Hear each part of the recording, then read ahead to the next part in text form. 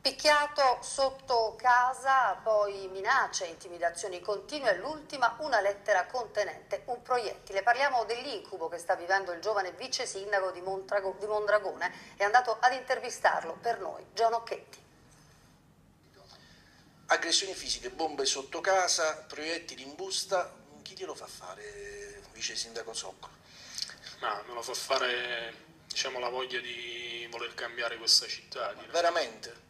Sì, veramente. Cosa ha fatto questo giovane mite geometra per scatenare una simile reazione? Siamo a Mondragone sul litorale Domizio dove la Camorra incontrava e impartiva ordine agli amministratori e funzionari e a raccontarlo è un pentito illustre, Giuseppe Valente, ex amministratore del Consorzio per i rifiuti Eco 4, un comune nel quale per decenni in pochi hanno lavorato e i soldi sono stati elargiti a valanga, soprattutto a personaggi legati alla Camorra. In questo contesto basta poco per fare la fine del vice sindaco,